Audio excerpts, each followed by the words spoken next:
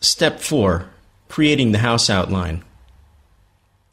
Let's finish the terrain by creating the outline of the house.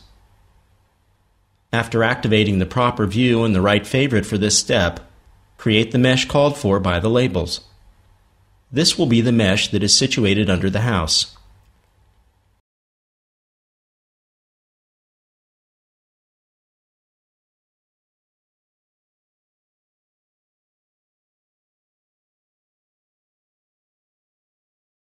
After activating the Subtract House Outline preset view,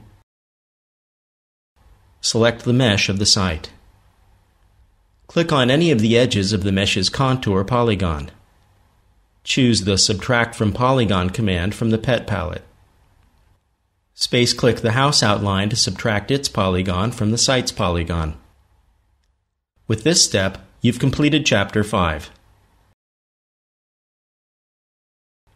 Have a look at the model you have built so far. As you can see, there are a couple of points where we will need to make slight adjustments to our model.